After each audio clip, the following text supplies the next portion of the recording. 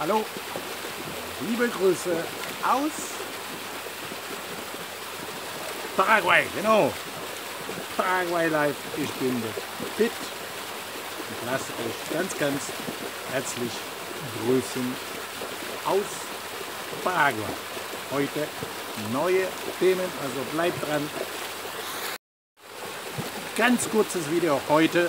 Ich bin wirklich noch ein bisschen müde von der Reise, aber gut angekommen. Wie gesagt, also bei dem schönen Wetter kann, wie gesagt, nicht anders sein als Paraguay. Nicht Polen, nicht Deutschland. In Spanien gab es zwar wirklich ein tolles Wetter, aber nicht so schön und vor allem nicht so warm wie hier in Paraguay. Vielen, vielen Dank an euch alle für die Riesenanfragen. Also in den Wochen oder Monaten, wo ich nicht live war, habt ihr wirklich jede Menge Fragen gestellt. Ich freue mich, weil, warum? Ja, man wird wiederum Themen haben für neue Videos. Also,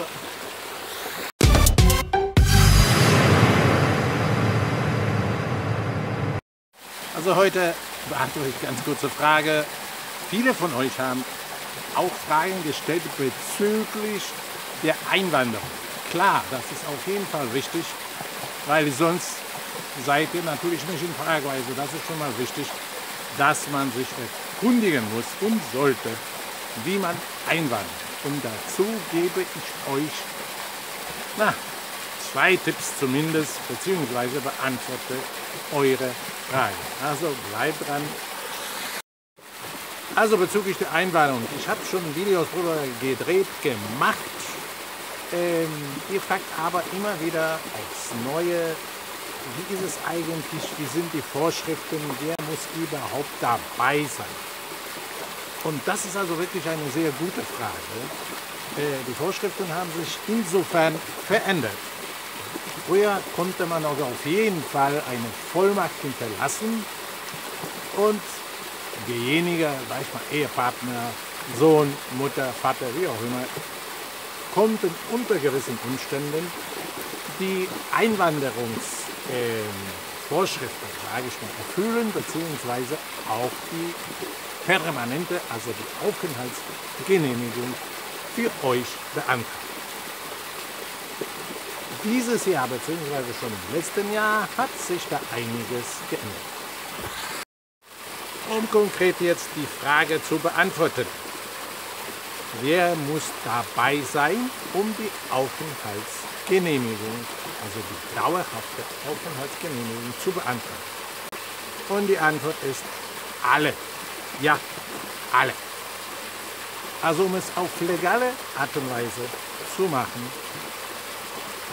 brauchen wir euch alle hier in Paraguay. Ja, das heißt also Mann und Frau, Kinder, auch Babys, kein Problem.